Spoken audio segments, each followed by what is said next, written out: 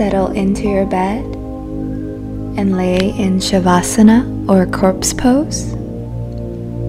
Hands apart in a 45 degree angle from the body and feet mats width apart.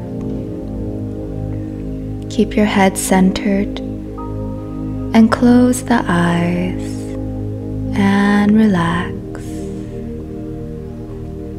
Let go of anything that happened in the day and bring your attention to the breath.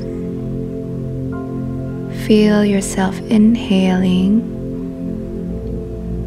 and exhaling very slowly.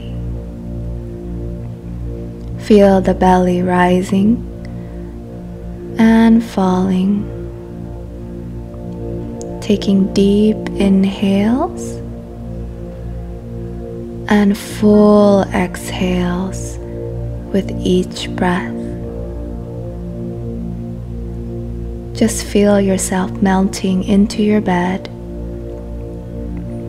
allowing all the tension to fall away from the body.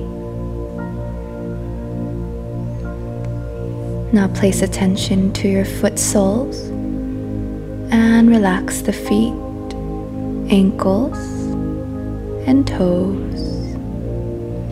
Feel your toes, feet, and ankles relax. Move up to the legs, knees, and thighs. Feel the legs, knees, and thighs relaxing. Now feel your hips relaxing. Feel your hips are relaxing so deeply.